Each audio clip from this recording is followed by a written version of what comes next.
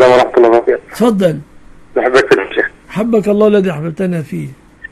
آه، كان فيه سؤال للشيخ ابن عثيمين آه، بيقول آه، لما يعني يكون عندك مرض جل- جلد ولا حاجة بتقول على مثلا تمسك إيدك أو مرض الجلد بتقول صار فيه نار فاحترقت تقول الشيخ ابن عثيمين بي- بس لا مش لازم تسمي الشيوخ يعني ماذا تقول؟ بيقول لو عندك آه، يعني حاجة مرض جلدي. أيوه. بتقول عليك وتقول صار فيه نار فاحترقت كذا مرة مدة يومين تقول إيه إيه عفوا. فأصابها أصابها فيه نار فاحترقت يعني ما أظن الشيخ يقول كده أبدا. الشيء أنت تزعم أن الشيخ رحمة الله عليه يقول لو عندك مرض جلد ده ما- بحثت عليها لقيت الشيخ بالفلائل كده. لا فين كان؟ أين قال هذا الكلام؟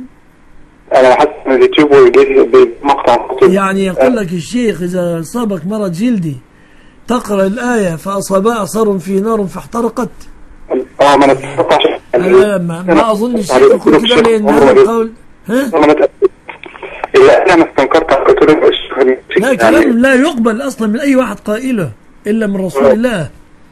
فقلت له في لا يصح هذا الكلام.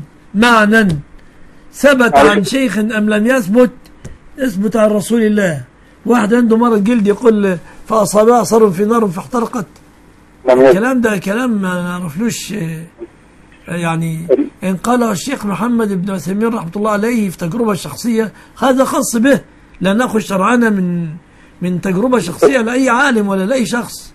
عندنا الآيات والأحاديث. وبعدين اللي جاب أصابها صاروا في نار فاحترقت بهذا المعنى. عندنا حديث عن رسول الله بسم الله ثلاثا أعوذ بعزة الله وقدرته من شر ما أجد وأحاذر سبعا. هذا اللي وارد في السنة. أذهب البأس رب الناس اشفي أنت الشافي لا شفاء إلا شفاؤك. إنما أجيب عقوبة في محلها. أصابع صار في نار فاحترقت. كلام كلام لا لا لا عقل. هذا الكلام أيضا الذي خرج به واحد يقول لك المرأة لا تحمل تقرأ مش عارف إيه أو عنده عمود فقري يقرأ. كل هذا تخاريف ما لها مستند من الكتاب ولا من السنة